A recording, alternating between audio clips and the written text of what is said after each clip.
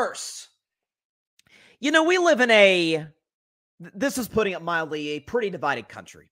That goes without saying. If we can't agree on anything at all, we, I mean, heck, we don't agree if if uh, uh, elections are stable in America. For crying out loud, if, if we can't agree on that, let's agree on this, okay? Albert Einstein was a smart guy. Albert Einstein knew a thing or two about a thing or two, right? What, was the commercials with uh that, that, says we know a thing or two because we see a thing or two? As Albert Einstein, he knew a thing or two. And Albert Einstein, who had many great quotes, once said, "Adversity introduces a man to himself." It's a great quote. It's a powerful quote. That resonates. Like, oh, that's that's a good one.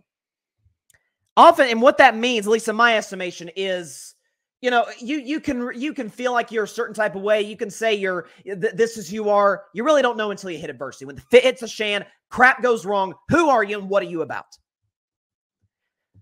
so this is what Dak Prescott had to deal with yesterday against my Pittsburgh Steelers. I mean, I, had to write it down just to make sure I got it. Game is delayed an hour and a half because of a, a, lightning storm in Pittsburgh. And by the way, a mon- I should say a monsoon. It was raining pretty hard in Pittsburgh. Shout out to some of the Steelers fans for trying to drink the, the their alcoholic beverage under the, the poncho. They were trying to you know make it make all things better, but it, it was it was not ideal. Try and keep warm. Try and make sure you're in good good shape.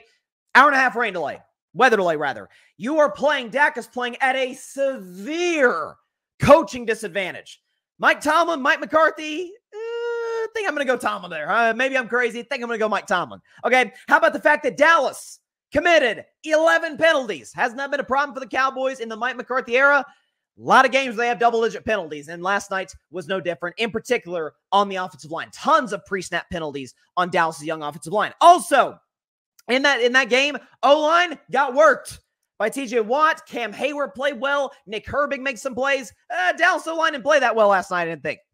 How about this? Mike McCarthy with these boneheaded non challenges on a Jalen Brooks catch the first half that should have been a first down, and then a challenge on a play that was obvious. I'm pretty sure it was the um, I think it was the, the catch on the sideline for the Steelers. I think it was that. But bad challenges and non challenges by Mike McCarthy. Also, without Micah Parsons, Demarcus Lawrence, and DaRon Bland for the Cowboys defense. And also no Brandin Cooks. And what did Dak do? Oh, let's see. He threw for 350 yards and led a game winning drive, throwing the game winning touchdown on fourth down.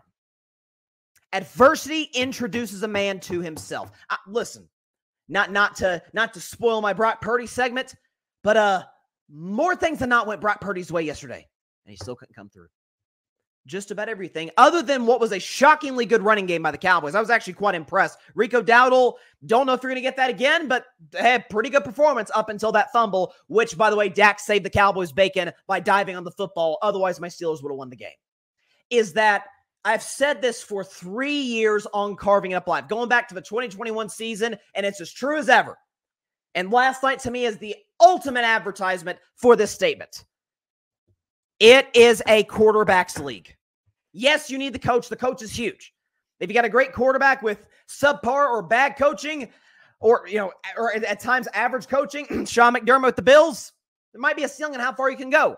Heck, the Dallas Cowboys, I feel like, are in that spot. McCarthy's not a bad coach, but no one's ever going to put him in the same tier as, again, the guy on the other sideline, Mike Tomlin. It's a quarterback's league. Last night, the Pittsburgh Steelers defense was awesome, y'all. Not one, not two, but three takeaways off of Dak. Two turnover or two uh, interceptions and a strip sack with Watt and Herbig combining to make the play. By the way, Dallas, a block kick in the red zone. That didn't go their way. Almost everything went against the Dallas Cowboys. And a lot of things presumably went for the Pittsburgh Steelers. They're playing a, a at least statistically going into this game, a bad rushing defense. Okay. They've got a, a, Cowboys defense that is just decimated by injuries. I mean, there are guys that Cowboys defense line I've never heard of before. I mean, even, even the guy Marshawn Kneeland, who was like the starter uh, in place of in place of uh, Micah Parsons and Demarcus Lawrence, even he went down early in the game. Everything broke for the Pittsburgh Steelers at home, Sunday Football, and you couldn't come through because your quarterback's Justin Fields, and there's only so far. And I like Justin; he's been fine for us this year. I bragged on him last week, but he is still Justin Fields, and we have a big enough sample size to say he's fine. He's nothing special. Other guy in Dallas is special. And I've been saying this, I mean, really since they came to the league, but certainly the last couple of years. when the Dallas Cowboys have, for reasons I cannot comprehend, have not addressed some of their glaring needs as it relates in particular to their wide receiving corps. I mean, I, listen, Dak throws the game winning touchdown pass to Jalen Tolbert, who just injured his man parts of the play before. I mean, that's, that's what Dak's working with. Okay, Rico Dowdle's having the game of his life, and then he uh, uh, fumbles on the one. Could have been the most disastrous inning to play to the game ever for Dallas, and Dak saved him there. Did he have his turnovers? No question about it. No one's going to excuse any of those, particularly the second interception, or rather the first interception in the red zone when he was targeting CeeDee Lamb. You know, CeeDee and Dak kind of had a, a brief conversation on the sideline. Wasn't great. Pittsburgh's got a better roster. Pittsburgh's got a better coach. Pittsburgh was at home. Pittsburgh is the better running team against a beat up Cowboys team, and Dak Prescott still did a job because that's what great quarterbacks do. That's what great quarterbacks do. Adversity introduces a man to himself. When it comes to great quarterbacks in this league, I don't judge you when things are going well. I, I don't judge you when, you know, you got a perfect passer rating, but your roster is basically stacked. Or if wide receivers are running wide open, or your defense is creating a million takeaways. What are you when stuff doesn't go the way you're hoping that it goes? And when the Dallas Cowboys absolutely need Dak Prescott the most, this is why. Uh, uh, I mean, uh, when that game was over and I just kind of sat in my misery as a Steelers fan, of course, in the carving it up bowl, and we had the graphic for it, the carving it up bowl, of course, Dak Prescott comes in and just stabs me in the chest and, and breaks my heart as a Steelers fan. Of course he does. But after I kind of sat and thought about that game, after that game is over, I'm thinking, and folks didn't think the Cowboys should have paid him. Are you out of your freaking minds? Did you uh, did you see the other organization that drafts well, that is well run, that is well coached, but they don't have that guy. Pittsburgh's gonna be drafting quarter. Listen, Justin Fields not the long term answer. Listen, he's done a good job. He's better than Kenny Pickett. Kudos to him. It's not a high bar to reach, but he's better than Kenny Pickett, eh, who he had last year and won ten games with him starting the majority. Uh, Russell Wilson, what is uh, uh you know what's his new catchphrase? Oh, win the seventh. Yeah, go Hawks. Let's ride now. Win the seventh. Hey, get Russ out of here. These aren't the answers. Dallas Cowboys are a disastrous organization without that man at quarterback. Even CeeDee Lamb, who's amazing. I, I, can't speak highly enough of CeeDee Lamb. The guy pulled a disappearing act in the second half. Uh, what do you have? Like one catch, two catch? I mean, he was just he was, he was, he was nowhere to be found.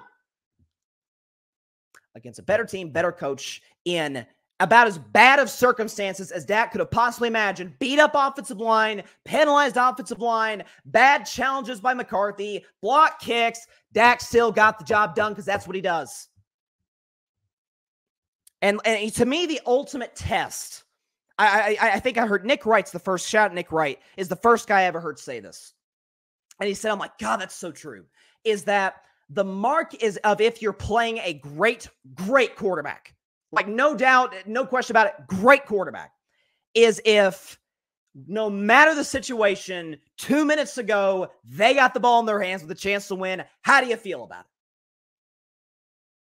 And despite Pittsburgh getting three turnovers off of Dak Prescott, despite the fact that Dak's receiving corps, aside from CeeDee Lamb, I mean, he's working with Ferguson was pretty good last night. Ferguson made a big third down catch in that last drive, and Jalen Tolbert doing what he can, and Brooks made a catch. Uh, you know, uh, Hunter Luepke, the fullback, is getting snaps on this team.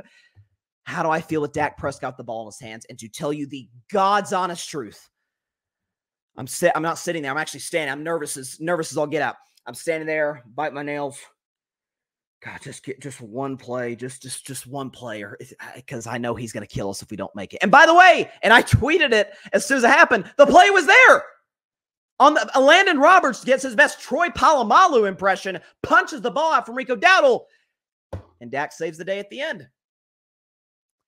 This is a, I've said it for years, and I, I think last night is the prime example of it. That is a special player dragging a poorly run franchise. Dallas should not be three and two today. They could have easily lost to the Giants. And by the way, Giants, not a bad football team. A lot of that's their coaching. They built a solid O line. I mean, it's the organizational structure in Dallas is a train wreck. the organizational structure of Pittsburgh is about as good as you could possibly ask for, but they don't have that guy quarterback, and Dallas does. And that was the difference. Pittsburgh's defense, uh, Dallas, their first four red zone trips, scored three points. Now, some of that was Dak's doing. Some of that was Dak's doing. But some of it was block kick, pressure by TJ Watt. The Steelers were great where we tend to see them be great. The number one defense in the league. And it didn't matter against that guy. Because that's what the great ones do. Dak Prescott, the one game I root against this man, and he kills me in the end. Of course he does. But you know what? For this brief moment, Dak, put the Dak hat on for just a moment here. Pretty good job. I wish I could celebrate in it. I'll be rooting for you next week, buddy. I, I will. But last night was painful. But what a given the circ the circumstances matter, context matters. Given the circumstances, beat up defense, beat up offensive line, dealing with injuries, getting penalized. McCarthy's calling an average game. Uh, Pittsburgh is doing their thing defensively. Weather delay, an hour and a half weather delay. The game ends at one in the morning. Quarterback like that, that's what he does. Give him an opportunity and he will make you pay. When he got the ball in his hands late, I'm like, gosh darn we're going to lose this game. If we don't make one play, one big time, uh, Landon Roberts did his best. Kudos to him. If we don't make one play, he's going to get us. I mean, even by the way, last thing, I'll, and I'll get to the comments. Mid drive, when Dak hits, I think it was Luepke. Uh, yeah, Luepke on the uh, on on the long run uh, there for Dallas. Dak Prescott it's a bad dude right here. Dak turns, I wish we had the picture on here. Dak turns to his right, looks dead. TJ Watt, dead, the best pass rush in the game, dead in the eye, and just laughs at him. I mean, that that's that's the moxie. That's the cool, calm, and collected Dak Prescott that we've grown accustomed to. That's why I've loved, loved the guy since he was in college at Mississippi State, and it's why the Cowboys are lucky to have him. They, they really, really are. Like all you, some of you count, and there's there's a lot of Cowboys fans that love Dak. Like no question. But some of you Cowboys fans act like, oh, he's the source to all our pro. Y'all got blown out if not for that guy last night.